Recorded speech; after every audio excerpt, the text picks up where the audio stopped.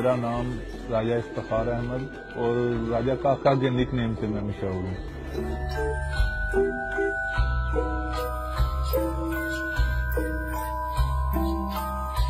باقاعدگی جی سے کبوتر پروری ہم لوگ کر رہے ہیں۔ ادھر اس طرف سے تقریباً دو ہزار پانچ سے۔ ہمارا ماشاءاللہ پاکستان کا سب سے بڑا گروپ ہے، جس میں مڈل ایسٹ میں، انگلینڈ میں، پورے آل اوور پاکستان ہمارے ممبرز ہیں، کلب کے۔ تو الحمدللہ تقریباً پانچ، چھ دفعہ ہم لوگ جیلم کے چیمپئن بن چکے ہیں۔ تین دفعہ پنجاب کے چیمپئن بنے ہیں۔ اور اس کے علاوہ ایک دفعہ ورلڈ کپ ہوا تھا ہمارے، جو ہماری پارٹی نے آرگنائز کرایا تھا۔ اس میں سیکنڈ پوزیشن آئی تھی ہماری۔ اور اس کے بعد متعدد بار کافی ٹورنامنٹ جو لوکل ٹورنامنٹ ہے یا پنجاب کے ان میں ہم جیت چکے ہیں۔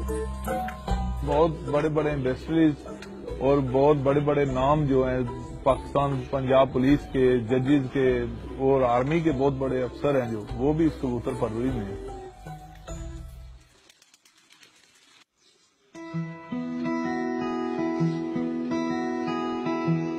میرا نام استاد شاہد خان ہے اور میرا تعلق اسلام آباد سے ہے۔ میری عمر جب پانچ سال کی تھی تو مجھے یاد پڑتا ہے کہ پانچ سال کی عمر سے میں نے اپنے گھر میں کبوتر پالے ہیں۔ اور اسی اس عرصے سے لے کے آج میں ماشاءاللہ میری عمر چونتیس سال ہو گئی ہے اور ابھی تک میں نے یہ کبوتر اپنے گھر سے ختم نہیں کیے۔ میں نے اسی شوق کی بدولت کئی ملکوں کا وزٹ کیا ہے۔ دبئی تک میں گیا ہوں اس شوق کے حوالے سے۔ دبئی میں جا کے ٹورنامنٹ اور مقابلے ہم نے کیے ہیں، جس میں ماشاءاللہ رسل خیمہ میں میں گیا۔ رسل دو ہزار بارہ رسل خیمہ چیمپئن بنا یو میں۔ چار سو سے زیادہ میرے شاگرد ہیں۔ میں خود اس وقت ایک استاد ہوں اور اتنا ایک گروپ چلاتا ہوں جسے خان گروپ کے نام سے یہ گروپ ہے۔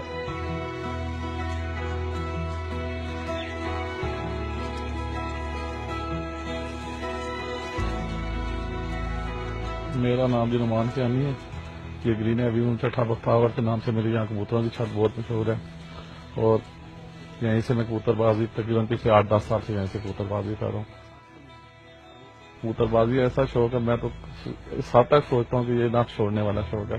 کچھ ایسا میں نے بیچ میں کٹ آف کیا۔ اور کٹ آف میں میرے ساتھ ایسا ہوا کہ بالکل ہی میں بیزار سا زندگی سے ہو گیا تھا۔ مجھ سے کوئی پوچھے، میں کہتا ہوں اس سے بڑا شوق ہی کوئی نہیں میں صبح جہاں سے آتا ہوں، صبح فرسٹ ٹائم پہلے یہیں پہ آتا ہوں۔ انہیں دیکھتا ہوں، بس ایک اپنا دل سکون میں ہو جاتا ہے۔ پاکستان کی کبوتر پروری پوری دنیا میں مشہور ہے۔ کبوتر ہمارے پاکستان کے سب سے اچھے پوری دنیا میں، مڈل ایسٹ میں جائیں گے، نیپال میں جہاں بھی جاتے ہیں انگلینڈ میں بہت زیادہ کبوتر پرور ہیں، لیکن یہ پاکستان سے جاتے ہیں۔ اور جو بڑے بڑے کبوتر پروری کے نام ہیں، پہلے تو انڈیا، پاکستان ایک تھا، بڑے صغیر میں تھے، ابھی لیکن پاکستان پاپولر ہے۔ انڈیا سے بھی آگے پاکستان نکل گیا کبوتر پروری۔ تقریباً آج سے دس سال پہلے ہمارے پاکستان میں انڈین نسل کے کبوتر بہت مشہور تھے۔ جن میں رام پوری بانکے فیروز پوری اور شرن پوری نیلدمے، ان نسلوں کے کبوتر پاکستان میں بہت زیادہ مشہور تھے۔ ان کی پروازوں کو یہاں بہت مانا جاتا تھا، ان کبوتروں کی پروازوں کو۔ لیکن آج ہمارے ملک کے جتنے کبوتر پرور بھائی ہیں، استاد ہیں، انہوں نے یہاں اپنے کبوتروں کی نسلوں کو ایک دوسرے سے کراس دے کر ایسی نسلیں بنا لی ہیں کہ اب وہی انڈین کبوتر پرور بھائی ہماری نسلوں کے متلاشی ہیں۔ وہ ہمارے پاکستان کی بنائی ہوئی کئی نسلیں شرمیلے کبوتر، زہریلے کبوتر ہیں، ٹیڈی ہیں، لاکھے ہیں، کسوری کبوتر ہیں۔ یہ کچھ ایسی نسلیں ہیں کہ جن کی اس وقت انڈیا میں بہت ڈیمانڈ ہے۔ اور وہ لوگ اس کوشش میں رہتے ہیں کہ پاکستان کی یہ نسلیں کسی طریقے سے ہمارے تک آ جائیں۔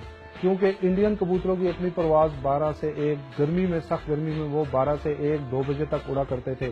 اور آج ہمارے پاکستان کے جو استاد صاحبان ہیں، جو ہم لوگوں نے اپنی نسلیں بنائی ہیں، اپنے کبوتروں کو ہم نے کراس دے کے ہم نے ان کی پروازیں سخت سے سخت گرمی میں شام سات سات بجے تک، شام شام آٹھ آٹھ بجے تک ہم نے ان کی پروازیں پہنچا دی جو اچھا کبوتر ہے، یا بریڈر کہہ لیں یا اڑنے کے ہاتھ میں، وہ تو ہوتا ہے پرائز لیس اس کی پہچان یا اس کا کیسے ہم کو پتا چلتا ہے؟ اس کے پہلے سب سے اس کے ہم فیڈر دیکھتے ہیں پارش کے دیکھتے ہیں۔ اس کے اندر اللہ تعالیٰ کی طرف سے ہوتا ہے کہ ان کو کچھ ایسا دیا ہوتا ہے کہ یہ اسپیشل ہے باقیوں سے اچھا اڑے گا۔ اس کے بعد ان کی آنکھ دیکھتے ہیں، آنکھ آئی سائنز ہیں ان کے جو۔ وہ بتاتے ہیں کہ یہ کبوتر کتنے بجے تک اڑ سکتے ہیں اس کے بعد ان کے جسم کے کافی پوائنٹس ہوتے ہیں۔ ویسے تو ہم لوگ کہتے ہیں بتیس پوائنٹ ہوتے ہیں ایک اچھے کبوتر میں۔ وہ جس میں جتنے زیادہ ہوں گے، وہ کبوتر نایاب ہوگا۔ کبوتر کی آنکھ میں پانچ رنگ ہوتے ہیں۔ ٹھیک ہے، جو اس کے راؤنڈ سرکل سے بلیک راؤنڈ سرکل سے شروع ہو کے اس کے آنکھ کے اینڈ تک جاتے ہیں۔ اگر کبوتر کے آنکھ میں یہ پانچوں رنگ کمپلیٹ ہے تو اس کا مطلب آپ، یہ کبوتر آپ کا ایک اچھا اعلیٰ نسل کا بریڈر کبوتر بھی ہے اور ایک آپ کا اچھا فلائر بھی ہے۔ پھر کبوتر کے جسم کو دیکھا جاتا ہے، بہت زیادہ بڑے جسم کا کبوتر بھی لمبی پرواز کے قابل نہیں ہوتا۔ اس کے ایک مناسب جسم کا کبوتر دیکھا جاتا ہے۔ ہڈی میں کبوتر کی بڑی ہڈی سینے کی ہڈی کو دیکھا جاتا ہے کہ اس کی ہڈی بڑی ہو۔ پنجوں میں اس کے پنجے پتلے پتلے لمبے ہونے چاہیے، ناخن پتلے لمبے ہونے چاہیے، اور جوڑ کبوتر کا پنجوں کے پاس جوڑ ہوتا ہے جو بند ہونا چاہیے۔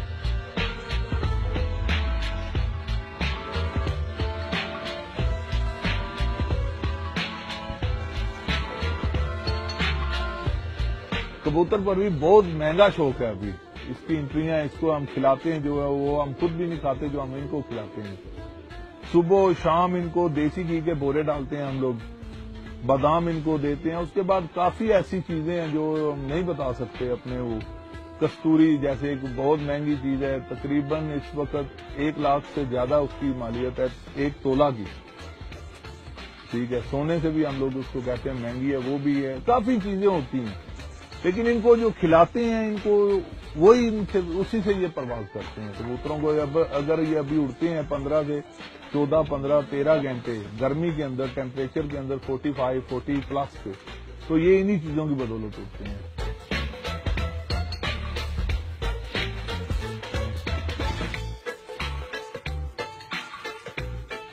بچے ہمارے پاس نکلتے ہیں۔ ہم اس بچے کو جب وہ دو مہینے کا ہو جاتا ہے تو ہم اس بچے کے پر دھاگے کے ساتھ باندھ کے اس کو اپنے جال کے اوپر بٹھا دیتے ہیں۔ تقریباً چار سے پانچ روز ہم اس کو باہر جال پہ بٹھائے رکھتے ہیں تاکہ اس کو اپنے گھر کی پہچان ہو، اس کو اپنے جال کا، اپنے ارد گرد کے ماحول کا پتہ لگے۔ چار پانچ دن کے بعد ہم اس کے پر کھول کے اس کو دوبارہ کھلے پروں میں باہر بٹھاتے ہیں اور پھر ہم اس کو دن میں پہلے اکیلے دو بار، تین بار ہم ایک دن میں اس کو ہلکا ہلکا سا اڑاتے ہیں تو وہ نیچے نیچے چکر لگا کر واپس اپنے جال پر بیٹھے۔ اس طرح اس کی ہم ٹریننگ کر کے اس کو اپنے گھر کا سارا آئیڈیا دیتے ہیں کہ اس کو اندازہ ہو جاتا ہے کہ یہ میرا گھر ہے، یہ میری جگہ ہے، میں نے یہاں سے اڑنا ہے، یہاں پہ بیٹھنا ہے۔ کبوتر پروری کا شوق ابھی اکیلے یا سنگل پرسن کا نہیں رہا ہے۔ اس میں پوری ٹیم کا کام ہے، جیسے ہمارے پاس ادھر آپ نے لڑکے دیکھے ہیں، کچھ کا کام ہے صفائیوں کا دانا ڈالنا ہے، کچھ لوگ، لڑکوں نے بادام بنانے خوراک ان کی تیار کرنی ہے۔ اس کے بعد جب ہم ان کو اڑاتے ہیں، پھر ہر ایک کبوتر انڈیویجل کبوتر کے اوپر نظر رکھتے ہیں کہ اس کو بازی میں آنا ہے، اس نے جو کپ میں آنا ہے کمپٹیشن میں آنا ہے۔ تو اس کو دیکھتے ہیں، یہ کیسے آئے گا، کتنے بجے روز بیٹھتا ہے۔ پھر اس کی پوری ہسٹری ہوتی ہے ہمارے پاس۔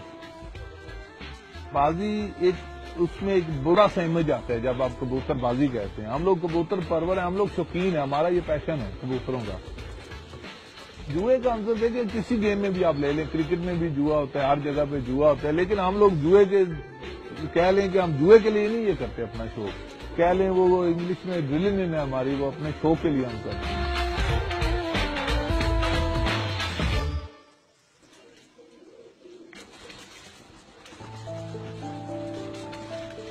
جو کبوتر پروری ہے، یہ پروفیشن بن چکا ہے، باقاعدہ ایک کھیل کی شکل اختیار کر چکا ہے اور اس کے باقاعدہ سالانہ ہر سال پورے پاکستان میں، ہر شہر میں، ہر تحصیل میں، ہر ڈسٹرکٹ میں اس کے ٹورنامنٹس ہوتے ہیں۔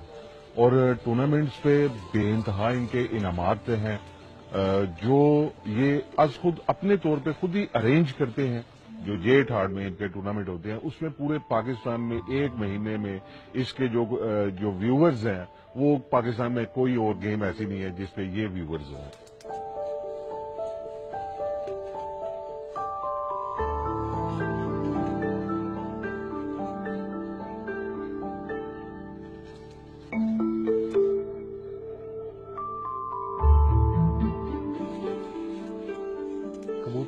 پیروں کے نیچے ایک مخصوص کلر کیا جاتا ہے، جس سے اس کبوتر کی پہچان ہوتی ہے کہ یہ اس چھت کا کبوتر ہے۔ ٹورنامنٹ میں اڑائے جانے والے کبوتر پر لازم ہے کہ اس کے پروں کے نیچے مخصوص رنگ ہونا چاہیے، جو اس کو بلندی سے واضح کرے۔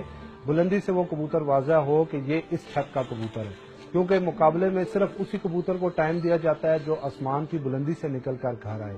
اگر کسی دوسری جگہ پہ بیٹھا ہوا کبوتر یا کسی بلڈنگ پہ بیٹھ کے آیا کبوتر اس کو مقابلے میں ٹائم نہیں دیا جاتا۔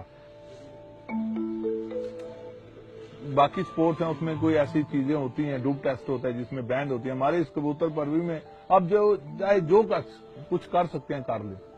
بینڈ نہیں ہے، اس میں اب اسٹیرائڈ بھی دیتے ہیں۔ جیسے ابھی ہمارے پاس کچھ میڈیسن ان کی آتی ہیں، جرمنی سے بھی آتی ہیں، پھر ہالینڈ سے آتی ہیں، کچھ انگلینڈ سے آتی ہیں۔ ہم لوگ وہ دیتے ہیں ان کو۔ لیکن وہ وہ چیزیں ہیں جو انگلینڈ میں یا یورپ میں جو ٹپلر شوقین ہیں، وہ اسپیشلی کبوتروں کے لیے بناتے ہیں۔ ہم وہ میڈیسن لا کے ان کو بھی دیتے ہیں۔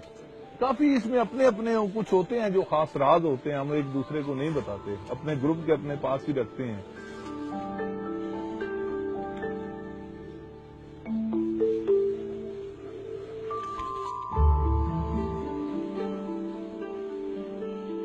ٹورنامنٹ کا طریقہ کار یہ ہوتا ہے کہ اس کی باقاعدہ ایک کمیٹی بنائی گئی ہوتی ہے، اس کمیٹی کے چند ممبران ہوتے ہیں۔ ہر چھت مالک پہ لازم ہوتا ہے کہ وہ اپنا ایک منصف ٹورنامنٹ کمیٹی کو دیتا ہے، جس کو ٹورنامنٹ کمیٹی اس کی ڈیوٹی کسی بھی چھت کے اوپر لگا سکتی ہے۔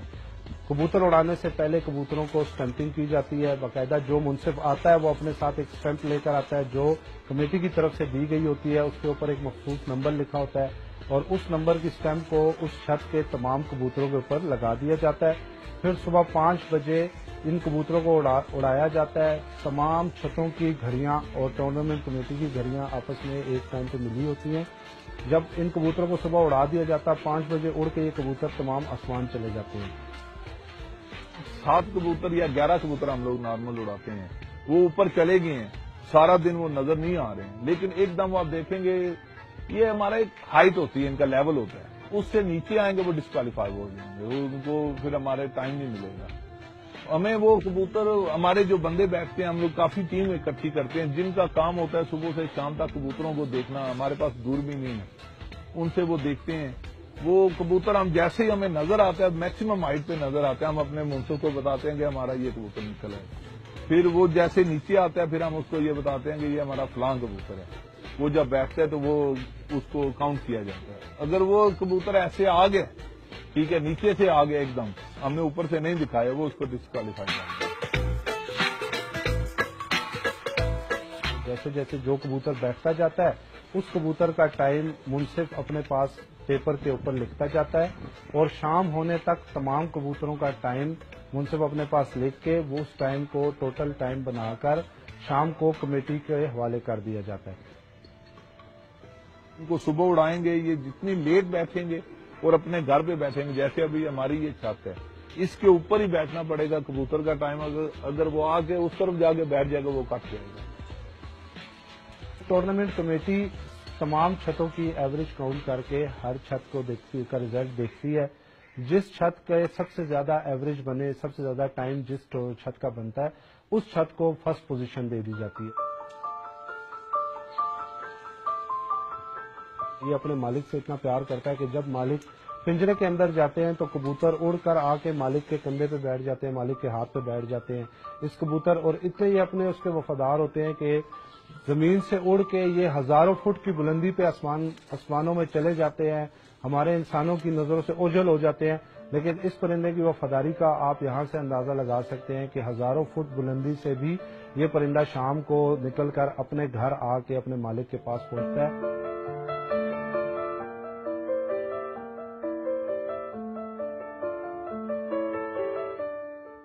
پرندوں میں یا کچھ پالنے والے جانوروں میں سب سے زیادہ وفا اس پرندے میں۔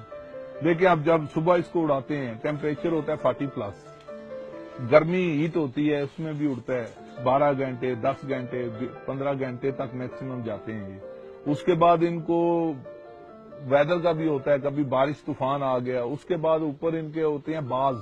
وہ بھی ان کو پکڑتے ہیں۔ لیکن یہ سب چیزوں سے لڑ کے، صبح اڑ کے، شام کو گھر آتا ہے۔ کئی دفعہ ایسا ہوتا ہے، یہ کبوتر آ کے گھر جال کے اوپر بیٹھ کے مر گئے اس کو آپ جب اڑا دیے، یہ آپ کا نہیں یہ اپنی وفا سے ہی واپس آتا ہے اپنے گھر۔